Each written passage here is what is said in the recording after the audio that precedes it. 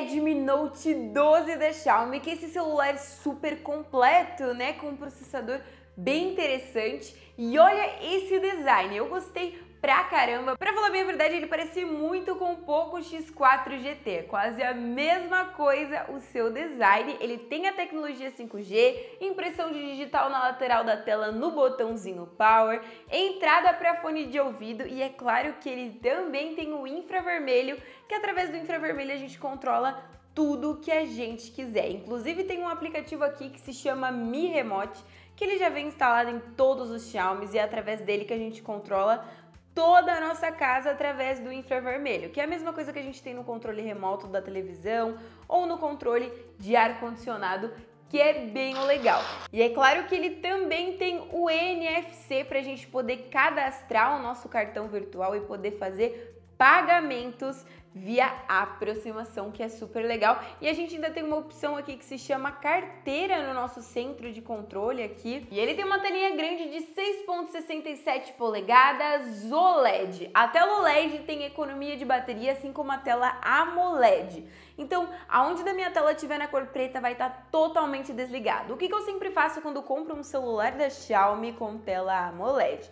Eu vou aqui nas minhas configurações, clico aqui na minha opção de tela e agora eu venho aqui em modo escuro e eu deixo ativado, porque aí é onde vai dar uma baita de uma escurecida na minha tela, né? Tanto se eu entrar no Google, entrar em algum tipo de aplicativo como WhatsApp, Instagram, vai ficar tudo mais escurinho, então eu vou ter uma super economia de bateria. E essa telinha tem uma resposta de toque sensacional também, ó, vamos aqui em telas, e vamos aqui em taxa de atualização e é de 120 Hz a mais alta, então você vai ter uma resposta de toque muito boa. Ele vem com um processador bem legal, ele vem com o Snapdragon 4G One com 6 de memória RAM. É um processador bom, assim, você conhece o Snapdragon 778G? É quase a mesma potência que ele, só que um pouco mais fraco.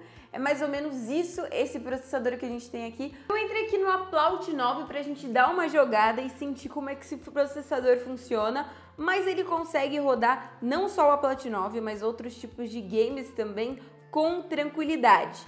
Como eu falei, ele é parecido né, com o processador da Snapdragon 778G, que é basicamente mais inferior um pouco que o, o A73 e um pouco melhor do que o Redmi Note 11. Ele fica nesse meio termo, esse processador, mas como você está acompanhando, ele está rodando de boa. Ele está dando algum tipo de travada. Eu escolhi o Apple 9 porque ele exige bastante né, dos, gráficos da, dos gráficos da tela e dá pra gente ver se realmente trava. E ele tá dando umas travadinhas bem de leve, mas ele tá rodando. Ah, e outra coisa, ele vem com áudio mono, então sai som apenas aqui embaixo e é uma super potência. Se eu tampar, o som não vai sair, ele não sai pela parte de cima, não é um, um áudio estéreo, é um áudio que apenas sai aqui embaixo. E para você que entende um pouquinho mais sobre processadores, a gente faz o teste no Tudo Benchmark e mede a pontuação. Quanto mais alta, melhor. E ele bate cerca de 389 mil pontos, que é uma pontuação legal. É claro que vai rodar qualquer tipo de aplicativo ou jogo. Mas tudo vai depender do preço que ele vai vir custando. Se ele vir custando aí R$ 1.100, R$ 1.200, até R$ 1.500 vai, aí ele pode ser uma boa opção. Inclusive, vou deixar o link na descrição se você já se interessou e quiser garantir o seu. Ele tem um conjunto de três lentes traseiras e essa câmera padrão dele é de 48 megapixels. Ele tem uma modo retrato de 2 e a sua câmera de selfie é de 8 megapixels.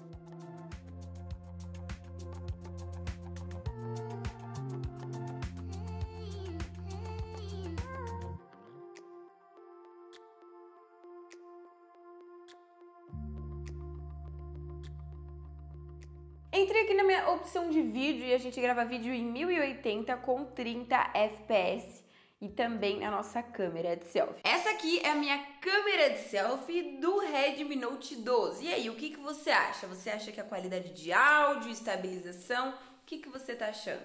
A minha câmera traseira é do meu Redmi Note 12, esses são vocês. E aqui tem vocês também. E eu acho que a qualidade dele tá interessante, tudo depende do preço que ele vai vir custando, né? E o áudio também é do meu Redmi Note 12.